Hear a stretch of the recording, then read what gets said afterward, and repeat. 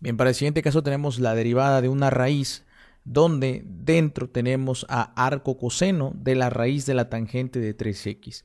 Para resolver este problema que implica una función compuesta, lo primero que tenemos que hacer es expresarlo mediante, eh, vamos a hacerlo por una u a la n, por lo tanto esto yo lo puedo expresar como arco coseno de la raíz de la tangente de 3x, o sea, esto mismo, todo a su vez elevado a la 1 medio. Entonces yo puedo derivar esto como una u a la n. Para derivar esta función como u a la n, entonces comenzamos. Ponemos un medio. Luego de ese un medio vamos a colocar aquí arco coseno de la raíz de la tangente de 3x. Pero para ello voy a colocar aquí un medio recordemos siempre menos 1, o sea, menos 1 entero, por la derivada, en este caso sería de arco coseno de la raíz de la tangente de 3x. Ok, ahora, para comenzar aquí vamos a colocar y', entonces esto nos daría un medio. Aquí tendríamos arco coseno de la raíz de la tangente de la tangente de 3x Posteriormente colocamos aquí un medio menos un entero, esto nos va a dar menos un medio. Y la derivada del arco coseno es menos 1 sobre la raíz, la raíz de 1 menos u cuadrada. En este caso, u cuadrada viene siendo, o sea, u sería esto. ¿Ya? La raíz de la tangente de 3x. Como está u al cuadrado por la fórmula de la derivada del el arco coseno, entonces esto nos quedaría raíz de tangente de 3x al cuadrado, que nos daría tangente simplemente de 3x, y así en la raíz por la derivada, por la derivada de lo que tenemos acá. En este caso sería la derivada de la tangente de 3x a la 1 medio.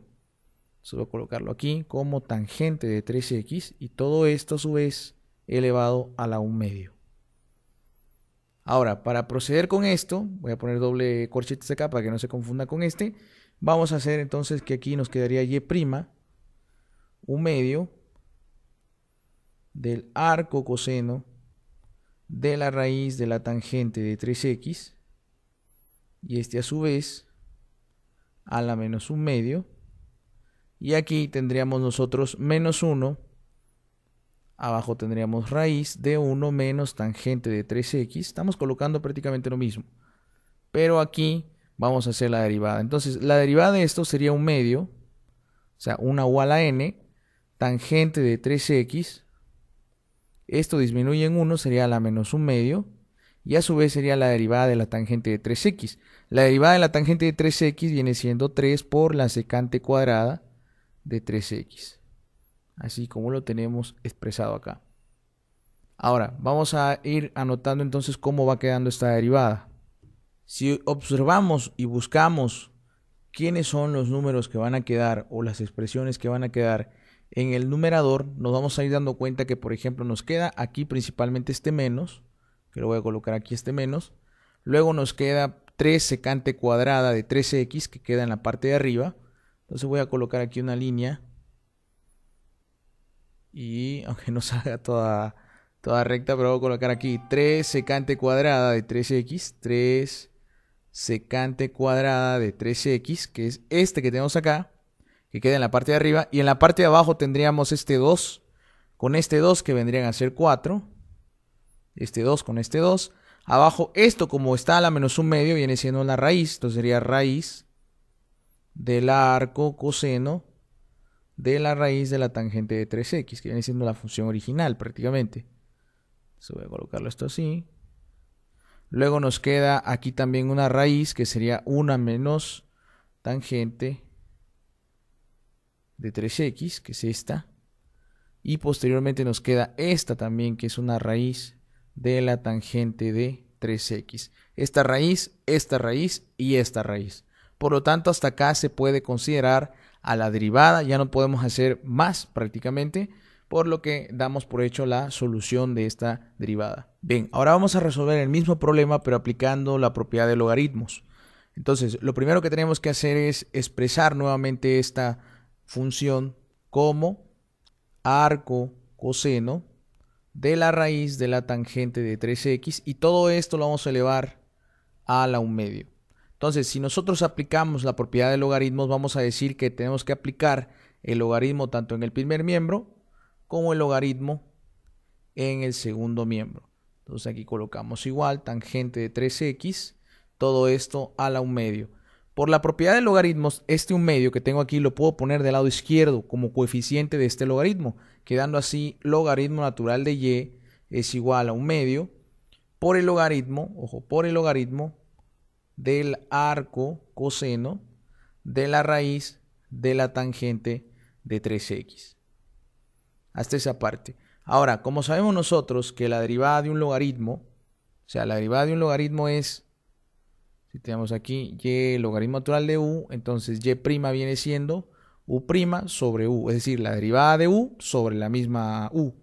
Entonces, para seguir haciendo esto, consideramos aquí, este un medio ya lo tenemos, lo hemos puesto acá. No hemos derivado, simplemente hemos aplicado acá. La derivada del logaritmo natural de y la vamos a dejar como y' sobre y. Y aquí abajo nos va a quedar un medio. Este un medio que de por sí es por la propiedad logarítmica. Ahora, la derivada de un arco coseno es menos 1.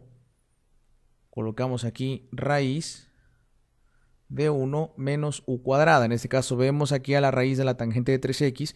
Como está al cuadrado, esto nos va a quedar tangente de 3x, ¿no? Está la raíz, al elevarla al cuadrado prácticamente nada más nos queda tangente de 3x.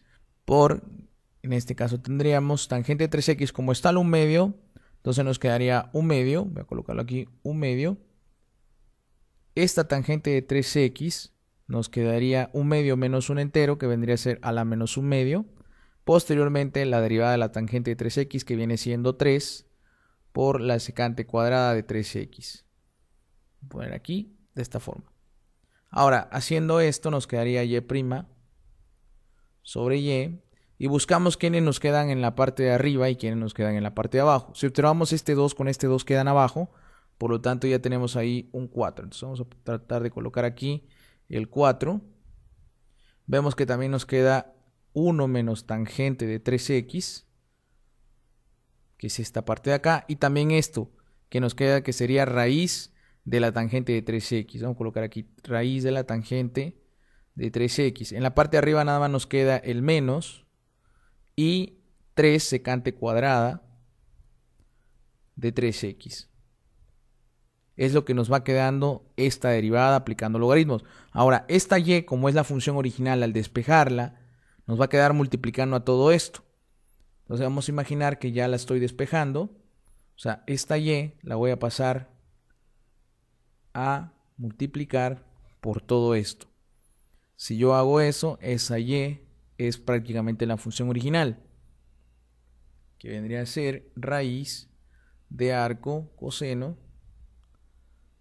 la raíz de la tangente de 3x, y todo esto, que por despeje esto nos quedaría la menos 1, al momento de pasarlo aquí de este lado, y al colocarla justamente aquí abajo en el denominador, pues lógicamente tendríamos el mismo resultado que como lo aplicamos anteriormente.